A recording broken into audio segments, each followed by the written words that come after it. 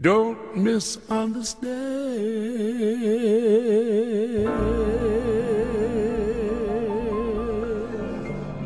Eighty-eight 88.1 KDHX, the beautiful baritone voice of Mr. Arthur Prysock. Don't misunderstand one of those grown folk songs. Yes, indeed, one of my favorites.